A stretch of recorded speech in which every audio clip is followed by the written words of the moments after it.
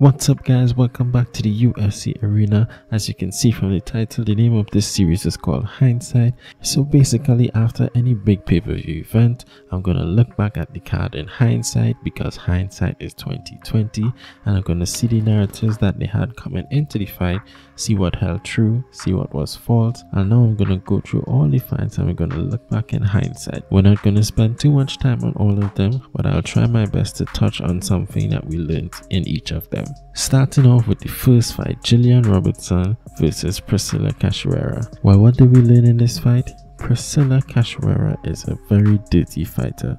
This lady tried to gouge out Gillian Robertson's eyes blatantly, not once but twice. That is a very dirty move. I know she was in the middle of a choke, I know she was panicking, but I'm sorry, there's just no excuse for that. You're in control of your body, and it was clearly intentional. That's dirty. I've never seen anyone do that that blatantly twice. Honestly, I feel like there's no place for that in the UFC, and I would not be shedding any tears if she was not here anymore. Next up, we had Randy Costa versus Tony Kelly. And going into this fight, Tony Kelly said Randy Costa has quit in him. And there was this narrative attached to Randy Costa that he's a great fighter, explosive, a bit of a gunslinger, but he gets tired. And looking back on the fight now, all those things turned out to be true. Tony Kelly was right. He was able to break Costa. He was able to make him quit. And Randy Costa did get tired.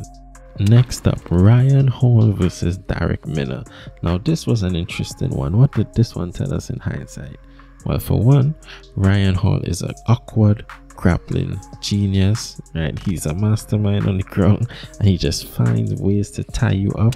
And no matter where he is, he always seems to find your ankles. Like fighting this man is like fighting a pest. However, I will say that Minner looked like he was lacking a little bit of fight IQ in this fight because he was willingly engaging on the ground with Ryan Hall I understand that he has confidence in his own grappling abilities, but even his own coach was telling him, What are you doing? Get up. And he had several opportunities to get up in rounds one and two, and he chose to stay on the ground because I guess he felt like he was having success. And eventually, that success became his downfall because Hall found a way to reverse the position, get a dominant position of his own, and win the fight that way.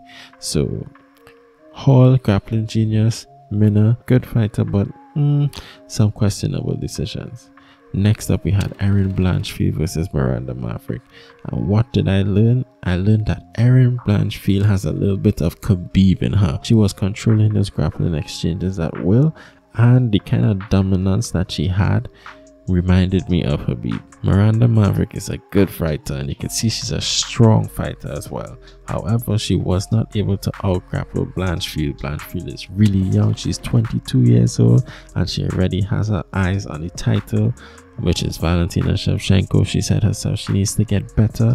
So you can see that's what she's aiming for. She has a long way to go from Valentina, but very promising prospect. Next fight, Andrew Muniz versus Eryk Anders. So coming into this fight, Andrew Muniz coming off of that victory over Jacaré where he broke Jacaré's hand showed everyone that he's definitely a grappling threat and not to be messed with.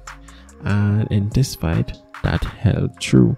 He was able to get Eric Anders down and submit him no problem.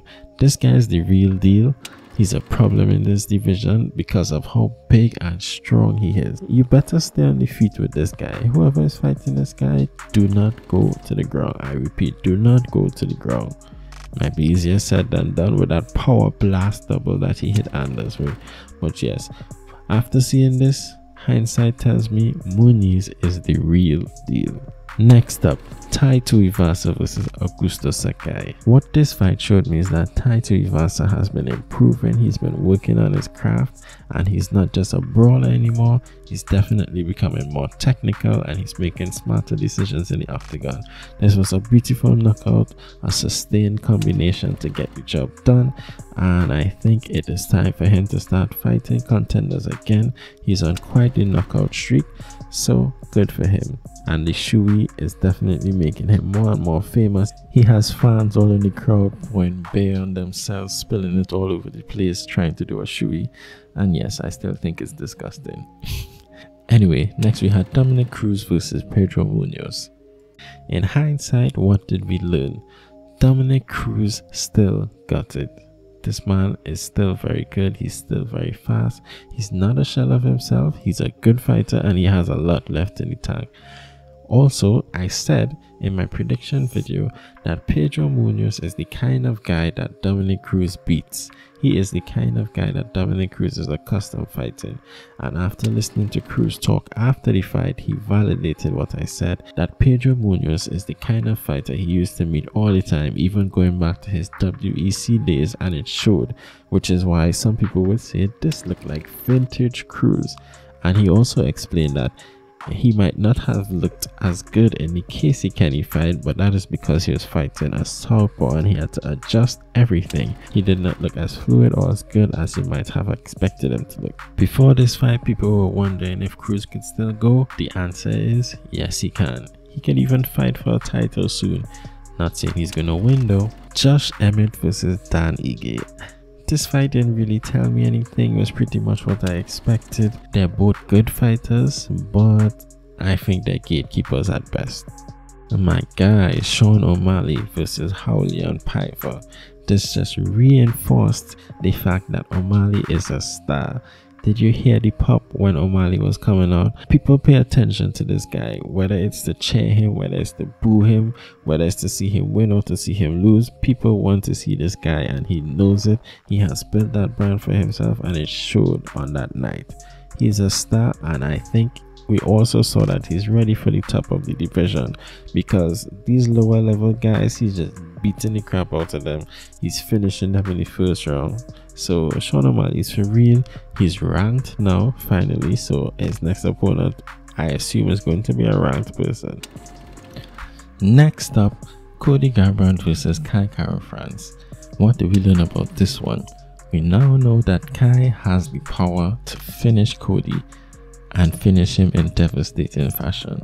Some people may say that we see Cody has no chin at flyweight as well. However, I would not go that far because I think that the shots that Kai landed on Cody would knock out almost any flyweight or any bantamweight. He landed clean, powerful shots, beautiful combinations. Looking back, we could also see that Garbrandt had some misplaced confidence. He was definitely brushing off Kai. You could see from the way he was acting that he thought that he would be able to run through Kai or that Kai wasn't that much of a threat to him. Kai said so himself in his interviews afterwards. And we also saw that Adesanya and their team, they had a lot of faith and confidence in Kai and they knew that he had the ability to win that fight. Adesanya actually made a bet on Kai to win the fight and he won big. So now we have Kai who's asking for a title shot, but I think he needs one more fight. And I saw Askar Askarov, who's ranked above him, he's offering to fight Kai to see who the true number one contender is. And I say 100% do that fight. That is the fight to make. Book it, let's go. Now, the next fight was Neal versus Santiago Ponzinibbio. What did this one tell me? It told me that Ponzinibbio is still great, but he's not the guy he was before all the injuries and before all the time off. He's high level, but I don't think he's quite there because this performance, even though Geoff Neal won, I was not that impressed with Geoff Neal, and I just feel like prime Santiago Ponzinibbio would have been able to win this fight. Now we get to the biggest upset of the night and also the fight that looking back has taught me the most. The first thing I learned from this fight is looks can be deceiving because Nunes looked like she was in the best shape of her life. She had visible abs. She was in great shape. She looked healthy. She looked good. She looked ready to go. When you hear her talk, she was just as confident as ever. But when you see her in the fight and when you see how things played out, you realize that maybe things weren't as good as they seemed from the outside looking in. After hearing Nunes talk in her post-fight interview, she definitely alluded to the fact that she was probably battling some injuries and they surfaced in the fight. She said things that she thought were fixed they apparently would. In addition to that, Juliana Pena talked the talk and walked the walk. She was fearless before the fight and she was fearless in the fight. She had a chin, she had a heart, she was willing to take a shot to give one. Chael Sonnen often says something very interesting that I like. He says, As a fighter, if you find yourself in a fight that is more difficult than you anticipated, it could really affect you mentally. And I think that is what happened in this fight. You can see that Nunes was having a hard time. She is so accustomed to hitting girls and them backing off. But when she would hit Juliana Pena, she would not back off, she would keep coming forward. She did not seem to be hurting Pena the way she was accustomed to hurting girls with her striking. Not only that, she was getting hit a lot more than she's accustomed getting hit in her fights. If you've seen Adesanya's reaction to this fight, he said something. He said, She's panic striking, she's panic striking. And that is something that I also saw in the fight because all technique went out the window, all game plan went out the window. Nunes striking just seemed to be get off of me, leave me alone. I don't like this. And why did she get tired? Because she was not able to fight her fight. She was not fighting at her pace. She was putting all her power in almost everything she threw and she could not sustain it. Things were harder than she thought it would be. So hindsight has now shown us that Amanda Nunes may still have some underlying cardio issues. They're not completely gone, it's just that she has been able to fight at her own pace for the most part. But if she's not, if she's taken out of that and forced to fight at her opponent's pace, those issues still persist. Juliana Pena outstruck Amanda Nunes in this fight. But looking back at her striking, I can guarantee you she will never outstrike Shevchenko the way she did Nunes there. She was sloppy, her striking was not pretty. She was literally throwing with her eyes closed on more than one occasion and just swinging. She was just throwing wild, and that ain't gonna fly against Shevchenko. I've said this many times, and other people have also said this many times. Amanda Nunes is the GOAT. Okay, no debate there. However, Valentina Shevchenko is the most skilled fighter I also think there's no debate there. Juliana Pena says she doesn't mind a rematch with Shevchenko. She will lose. Now, the last fight on the card, the main event, Charles Oliveira versus Dustin Poirier. What do we see? Well, going into the fight, there was a narrative that Charles is a quitter. Of course, the main person who said that was Justin Gaethje, and people took it and ran with it. That Dustin Poirier had more dog in him, better cardio, and that he'd win in the later rounds. I was picking Dustin Poirier for this fight, but I never doubted that Oliveira could win. I thought that Dustin Poirier would be able to survive and have his way in the later rounds. But boy was I wrong. I did not anticipate the forward pressure that Oliveira would fight with and I also did not anticipate the chin and toughness of Charles Oliveira. If there's anything that Oliveira's last two fights against Chandler and against Poirier have shown us, it is that he's a different fighter now. He's not looking for a way out, he's not playing it safe, he's not quitting, he is in there.